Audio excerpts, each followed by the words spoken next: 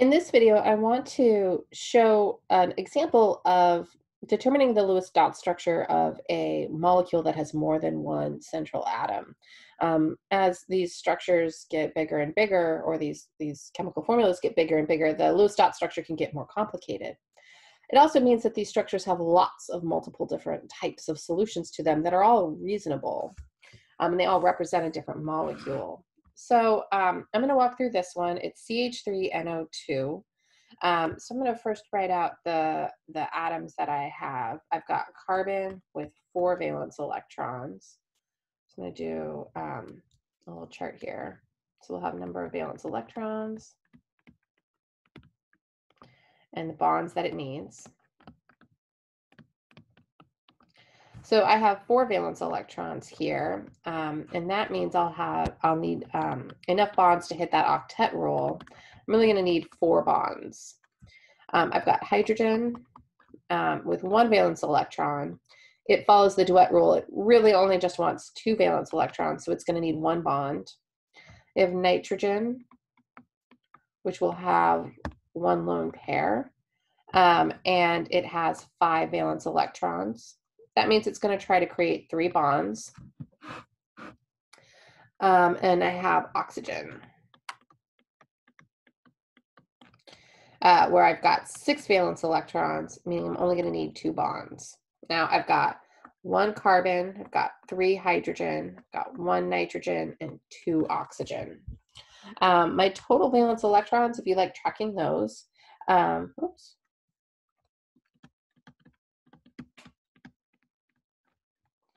So for the carbon, it's going to be uh, four um, plus three for each hydro or three hydrogens, each with one, plus one nitrogen with five, uh, and plus two oxygen, each with six.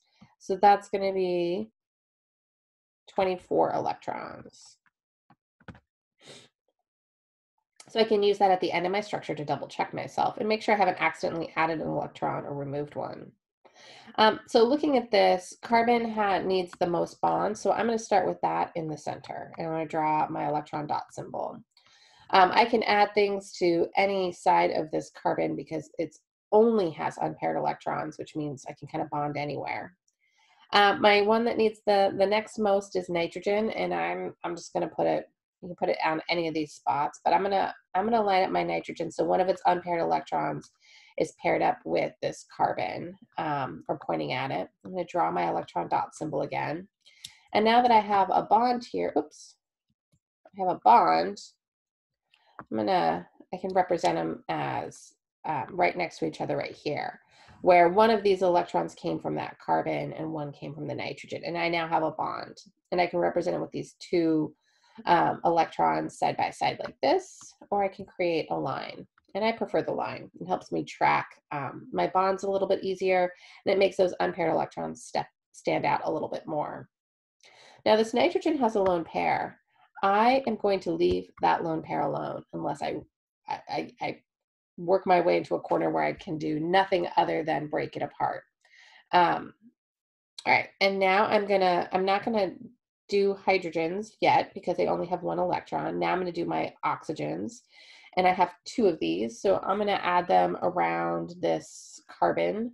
Um, I'll put one here and I'll line up one of the unpaired electrons of the oxygen with the unpaired electron of the carbon and I'll, I'll put another one here.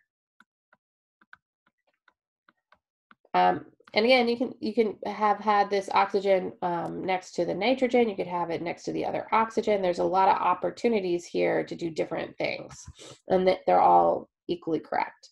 So this carbon now, since I have two lone pairs lined up, I can have a bond in between my carbon and my oxygen, uh, which I can represent with two dots like this. Or my preferred method is a line. All right, now um, before I add the hydrogens, I'm to do a check in on the number of unpaired electrons I have and see if I need to um, solve this structure with multiple bonds. Um, so I'm to highlight these. Oh, first I'm to highlight my lone pairs on oxygen because I want to leave these alone as best I can. Um, so looking at just my unpaired electrons, I've got one, two, three, four, and five. So right now I have five unpaired electrons.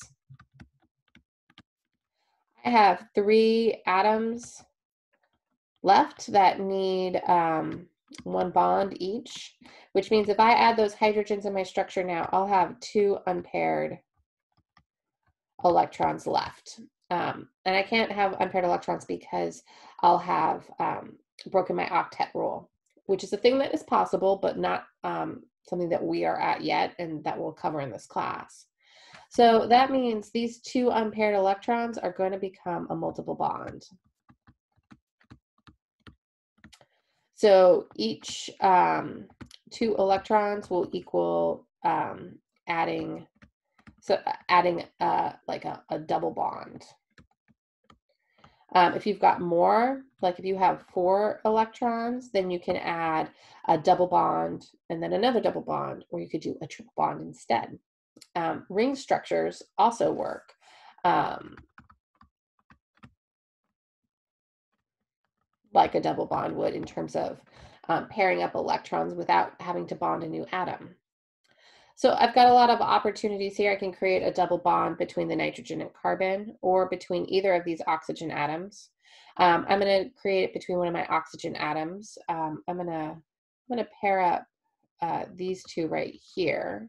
So if I do that, um, if I pair up these two between the carbon and the oxygen, I'll create a double bond here and these electrons go away. Um, they're actually now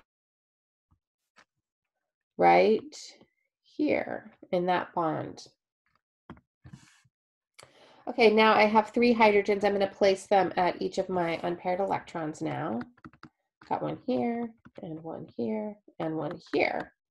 Um, and so each of those now, that hydrogen is bonding there, so I can write those electrons as um, two electrons right next to each other. Or I can write them as a line for a bond.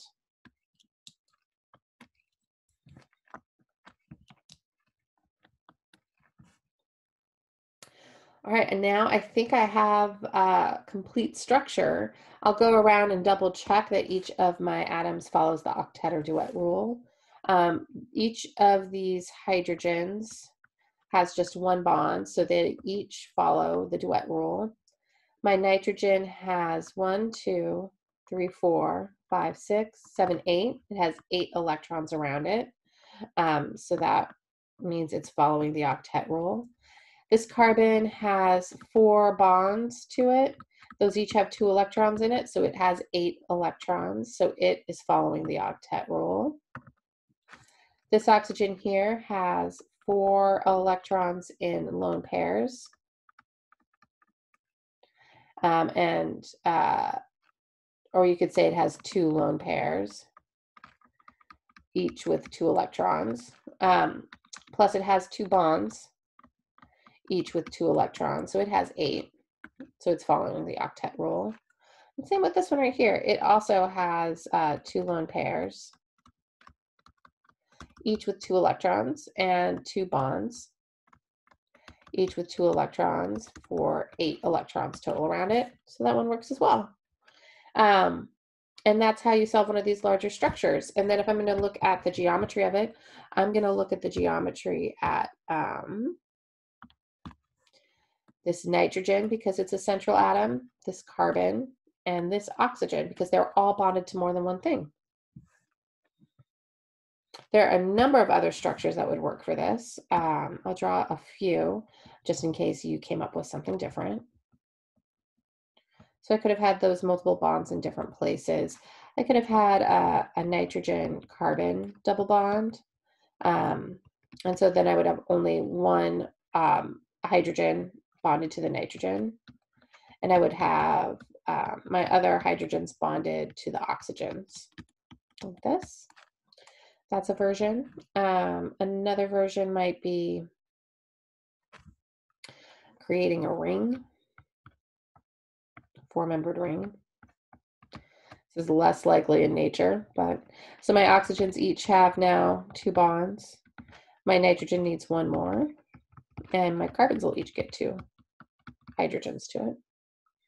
So that's another option. Um, you can also do a ring where you have your nitrogens like this, um, and you have a carbon with a hydrogen, and then these two oxygens form a three-membered ring.